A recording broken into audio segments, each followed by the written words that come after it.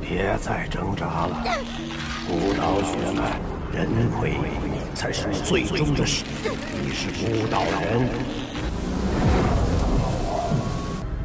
此女竟如此难驯，看来只能另做打算。Di tempat lain, pangeran keempat yang sedang terluka ini dirawat oleh Nona Siliang yaitu seorang pelayan. Tapi sepertinya ada yang tidak beres dengan perasaan Nona Siliang ini.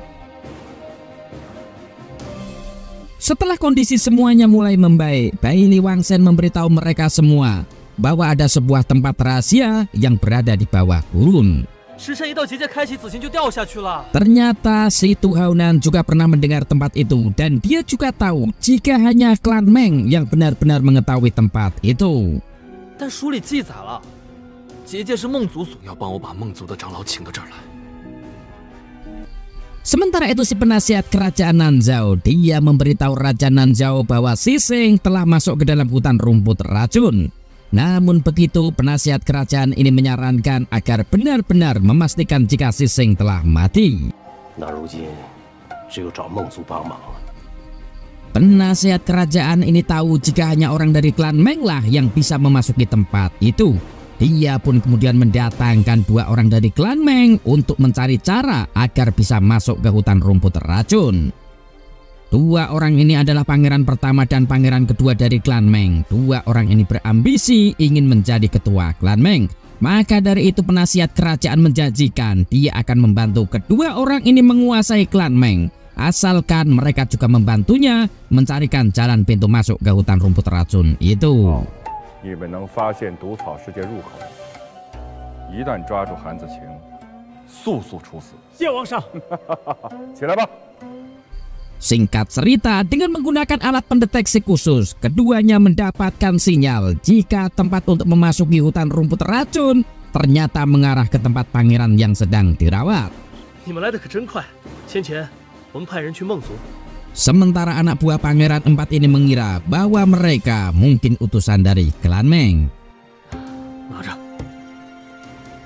Di tempat lain, si rambut putih Like yang sebenarnya dia juga sangat mencintai Nona Siseng ini. Dia juga mendengar tentang klan Meng.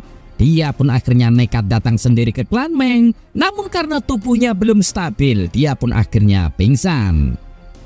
Sementara itu, dua orang klan Meng yang sedang mencari pintu rahasia masuk hutan rumput racun, ternyata mereka menemukan bahwa pintunya harus melewati jantungnya pangeran keempat. Mereka pun kemudian merencanakan akan mencari waktu yang tepat untuk melakukan ritual masuk ke dalam hutan rumput racun itu. Sementara yang mereka lakukan saat ini, mereka menambahkan obat tidur sehingga pangeran keempat tidak akan bangun. Sementara itu di klan Meng, akhirnya si rambut putih Like pun terbangun. Dia segera memohon kepada pemimpin klan Meng untuk menyelamatkan Sising yang masuk ke dalam hutan rumput racun. Namun sayangnya pemimpin klan Meng ini tidak bisa membantu karena ternyata dia juga sudah bersumpah dia tidak akan terlibat urusan tempat itu. Tempat itu memang sangat jahat meskipun dulunya tempat itu yang membuat adalah leluhur klan Meng sendiri. 不得沾染此。我劝你还是远离此等是非。Namun Liga menolak untuk pergi. Dia malah menyalahkan klan Meng yang telah membuat tempat jahat seperti itu, tetapi mereka juga tidak mau bertanggung jawab. Setelah mendengar itu, sepertinya pemimpin klan Meng ini akhirnya menyadari bahwa mereka memang harus bertanggung jawab. 赎罪的方式不是逃避。孟族长马上到。 孟族的人都到了，你怎么才回来？Sementara itu Yinsi, dia memberikan informasi bahwa ketua klan Meng akan segera tiba. Namun dia menjadi heran sekaligus curiga kenapa ada anggota klan Meng yang sudah sampai ke tempat itu. Ketua klan Meng pun akhirnya tiba yang sekaligus membuat dua orang ini menjadi panik ketakutan. Pemimpin klan Meng yang juga ayah dari kedua orang ini, dia pun menjadi sangat marah karena memang menurut aturan dari klan Meng, siapa pun itu tidak boleh meninggalkan klan Meng tanpa seizinnya.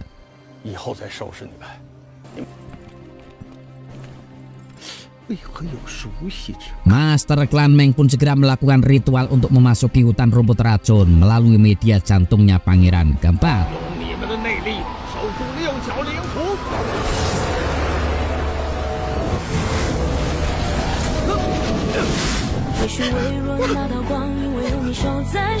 Mereka pun akhirnya berhasil mengeluarkan Nona Sising dari tempat itu.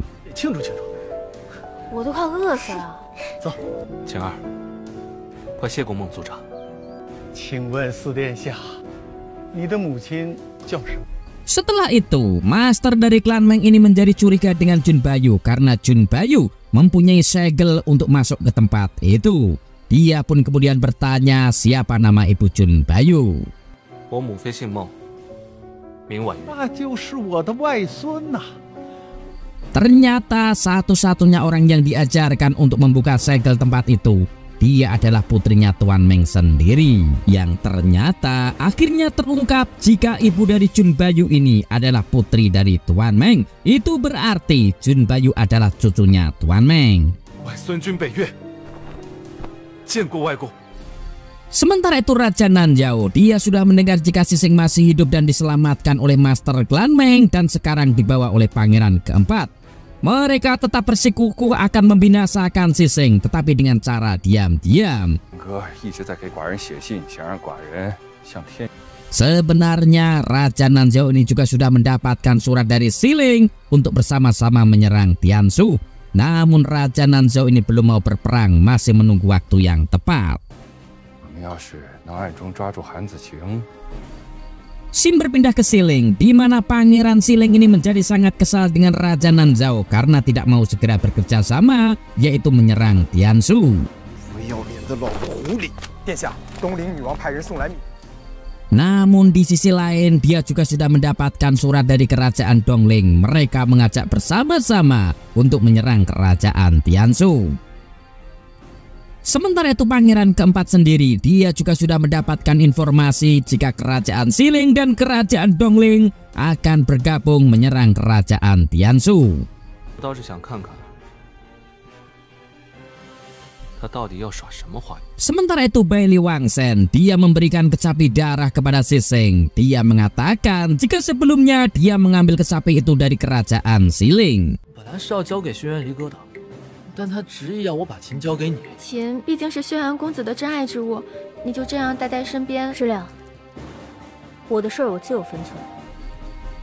Sementara itu Nona Siliang yang diam-diam jatuh cinta kepada pangeran keempat Malam itu dia nekat mencuri kecapi tersebut untuk dihancurkan.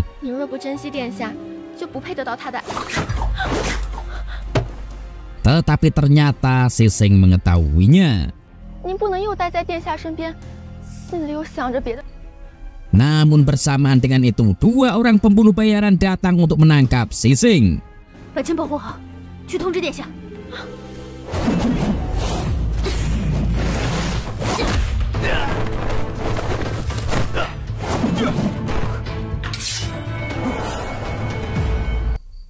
Tak disangka datang seorang wanita bercadar yang langsung menyelamatkan Sising.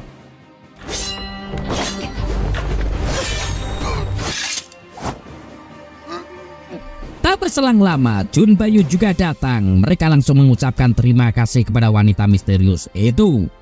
Wanita itu tidak memperkenalkan diri, kemudian dia pergi. Setelah kejadian itu, pangeran keempat pun menjadi bertanya-tanya siapa wanita itu. Saat mereka kembali, ternyata wanita itu datang dan berhasil ditangkap. Wanita itu kemudian membuka identitasnya. Ternyata dia adalah ibunya Jun Bayu. 我是你娘。 Ibu yang bernama Meng Wang Yun ini kemudian bercerita hingga membuat pangeran keempat akhirnya percaya bahwa dia adalah benar-benar ibunya. 入宫时又隐瞒了南诏孟族的身份，便嫁入了天阙王宫，生下了北。 Singkat cerita, akhirnya ibu ini dibawa pulang ke kediaman pangeran keempat. 那儿见过这把匕首，你娘 Suatu malam saat mereka sedang mengobrol, ternyata diketahui bahwa ibunya Jun Bayu ini dulunya adalah temannya ibunya Sising. Dia juga mengatakan bahwa waktu itu saat ibunya bermain kecapi, ibunya sangat ingin pergi ke sebuah tempat yang disebut Ngarai Busi. Merasa penasaran dengan tempat yang disebut Nyonya Wang Yun ini, Sising dan pangeran keempat akhirnya bermaksud mencari tempat itu. Namun dilihat dari pandangan mata ibu ini, sepertinya Nyonya Wang Yun ini sedang merencanakan sesuatu yang tidak baik. 真的吗，婉夫人？您这次真要带我一起？到时你见机行事，配合我就好。夫人让十两做什么，十两便做什么。 Pagi harinya saat mereka akan berangkat, tiba-tiba ada Kasim yang memberitahu pangeran keempat bahwa sang raja ingin segera bertemu. Akhirnya Siseng pun berangkat duluan dan nanti pangeran keempat akan menyusul. 走吧。Ternyata Nyonya Wang Yun ini membawa Sising ke sebuah tempat, yaitu tempat Istana Hiu Emas, di mana tempat itu dikabarkan telah hilang bertahun-tahun.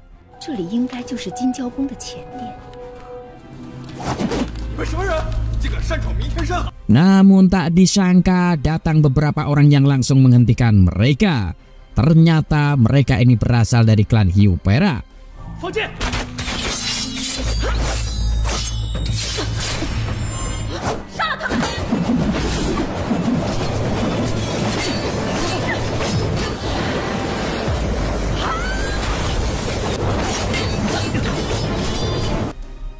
nampak juga seorang wanita yang tersegel. Dia memberitahu Bailey Wansen bahwa kelemahan klan Hyupera berada pada pusarnya.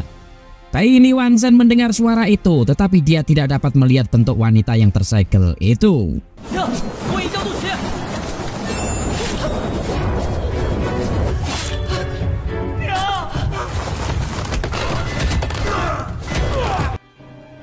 Jika Sementara itu Nyonya Wang Yun ketika dia melihat Sising sedang lengah, ternyata dia akan memasukkan sebuah jarum sihir ke tubuh Nona Sising.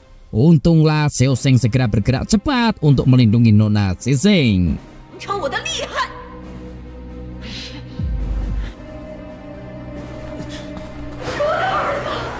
Hiu Pera ini kembali menyerang. Bai Liwang Sen tidak punya pilihan selain menunjukkan identitasnya bahwa dia adalah dari klan Hiu Emas.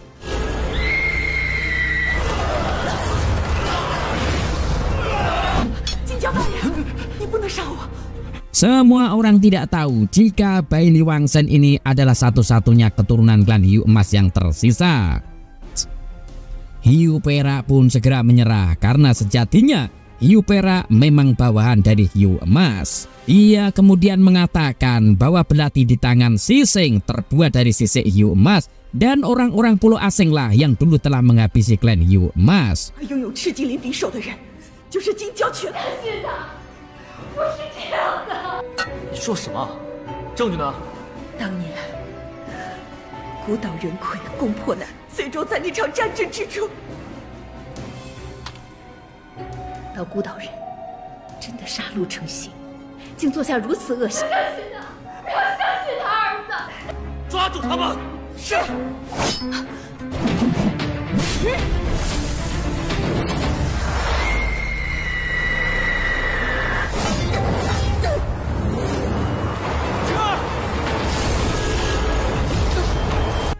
Chun Payu pun segera datang, namun tempat itu segera dipasang segel penghalang sehingga mereka tidak bisa menyelamatkan Sising. Chun Payu pun terpaksa membawa mereka semua ke Pulau Luxian untuk memulihkan diri. 婉约，这么多年，陆家主，咱们又见面了。 Selama di Pulau Luxian, Nyonya Wang Yun ini bekerja sama dengan Si Liang. Mereka akan meracuni Xiao Seng. Nyonya Wang Yun ini khawatir jika nanti Xiao Seng bangun dan bercerita kepada pangeran keempat bahwa dia baru saja akan mencelakai Nona Sising. Makanya dia mencari cara agar Xiao Seng ini kalau bisa mati di tempat itu. Namun sayang usahanya ketahuan pangeran keempat. 北月，这是干什么？给我关起来！没有本王的命令，他不准见任何人。是。 Malam itu pangeran keempat ke Ngarai Buksi untuk menyelamatkan Sising.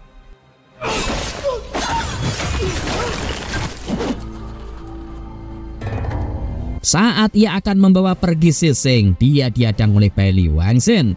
Namun Bailey Wangsen malah membiarkan mereka pergi.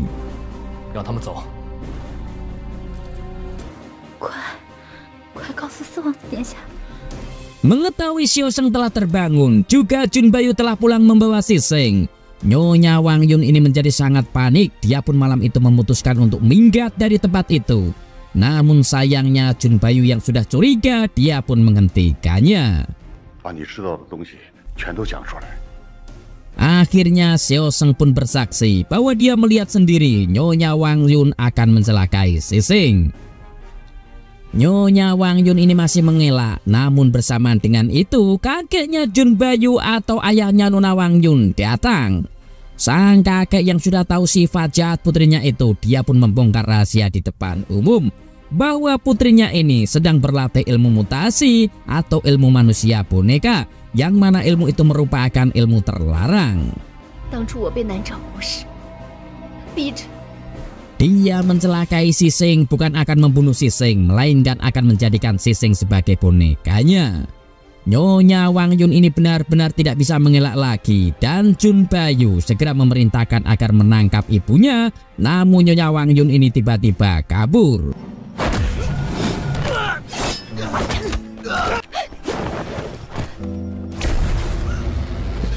Untunglah formasi milik ayahnya ini berhasil menangkapnya.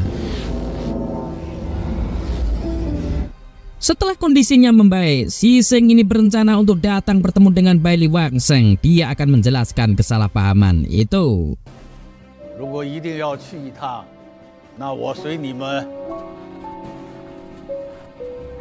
Begitu sampai di sana, kakeknya Jun Bayu ini menyadari ada hiu emas yang sedang tersegel di dinding. Dia pun segera melepaskan segel itu yang ternyata dia ini adalah ibunya Bailey Wangsen. Arsa.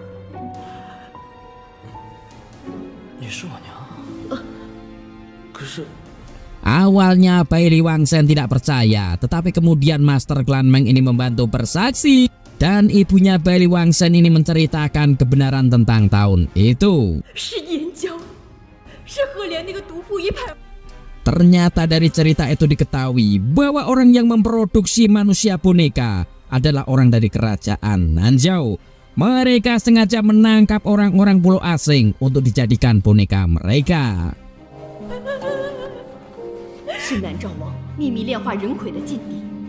Setelah kebenaran terungkap, mereka pun akhirnya datang ke Pulau Ruxian untuk menjenguk Seoseng.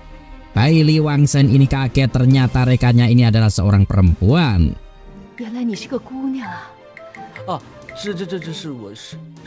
Setelah itu, mereka sepakat akan membongkar kejahatan Raja Nanjau yang menciptakan manusia boneka mereka akan mencari bukti bahwa penjahat yang sebenarnya adalah orang dari kerajaan Anzao. Ya. Hmm. Ya.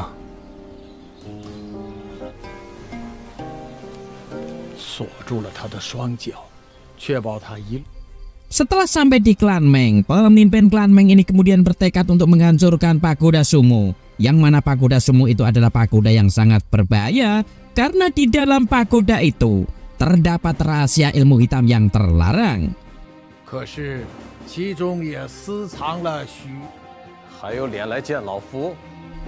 Ternyata secara diam-diam dua putra pemimpin klan Meng ini mereka datang menemui penasihat kerajaan Nanzhao. Mereka memberitahukan bahwa pemimpin klan Meng atau ayahnya akan menghancurkan pagoda sungguh.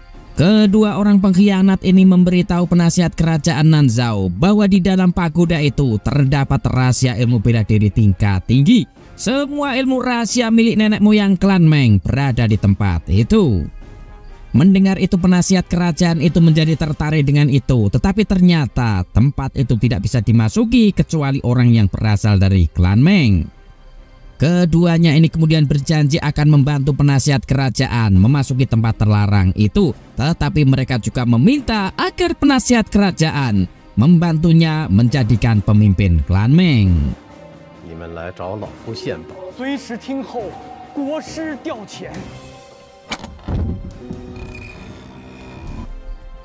Sementara itu Master Clan Meng dia sudah bersiap untuk menghancurkan pagoda tempat itu di mana di tempat itu terdapat ilmu terlarang peninggalan nenek moyang mereka. Namun tak disangka penasihat kerajaan telah datang ke tempat itu dan segera membunuh pemimpin klan Meng. 一旦中了我的江捕虫，若是乱动，父亲，父亲，我自由了。 是办完后就准备接任吗？您的大恩，我们没齿难忘。 Ternyata penasihat kerajaan Nanzhao ini dulunya telah bekerja sama dengan nenek moyang klan Meng. Mereka membuat boneka manusia. Namun entah kenapa nenek moyang klan Meng ini di tengah jalan menghentikan proyek pembuatan boneka manusia itu. 老夫至今想不明白是为了什么。 Ternyata di tempat itu penasihat kerajaan ini juga menemukan sebuah senjata sihir yang bernama mutiara pelahap jiwa.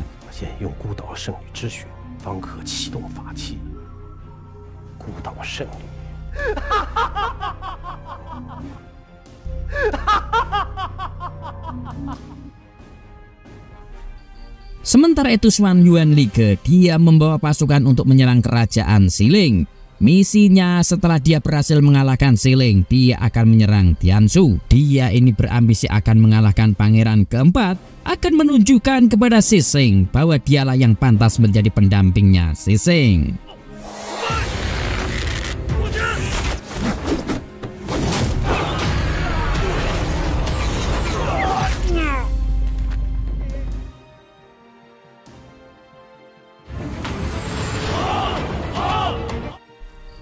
Han Sising dan Jun Bayu akhirnya mereka kembali ke Tiansu. Tak berselang lama Nonasian datang. Dia melaporkan jika suaminya yaitu si Tuhaunan telah mati dibunuh oleh Lige.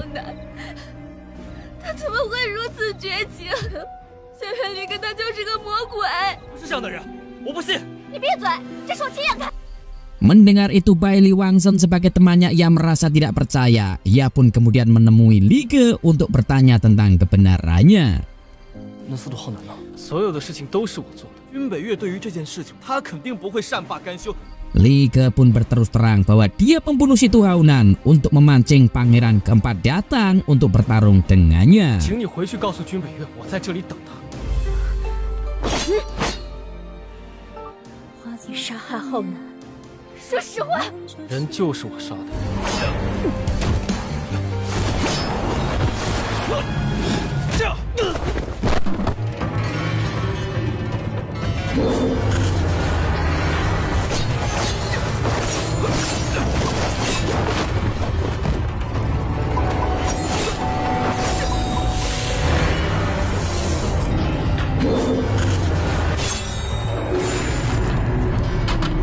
saat kritis, ada penghalang untuk melindungi Liga. Seorang pun datang untuk menyelamatkan Liga.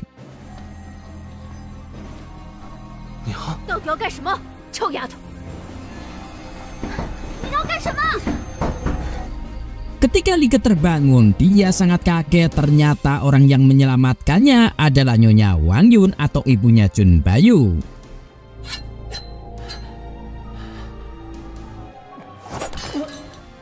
眼就能看出来，你被身体里的结星之源，对，那是一种非常特殊的原因。你是因为这个才救我？聪明，星之源我要定了，知道为什么？